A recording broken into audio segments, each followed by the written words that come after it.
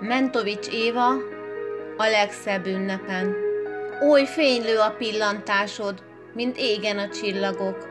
Felém nevet kedves arcod, ha megjöttem, itt vagyok. Úgy ölel át féltő karod, mint dombok a völgyeket, melengető kósza szellő, a májusi zöld gyepet. Kacagásod oly gyöngyöző, mint erdőn a kis patak, amikor a lombok közül csörgedezve kiszalad. Hangod bársony melegébe kényezteted lelkemet, pihentető meséd után minden álmom szebb lehet. Fürgébb ember most a szívem, úgy lüktet és kalapál. Ő is tudja, nincs szebb ünnep, e májusi szép napnál. Minden egyes dobbanása jóságodat köszöni, az én édes tündérlelkű jó anyámat köszönti.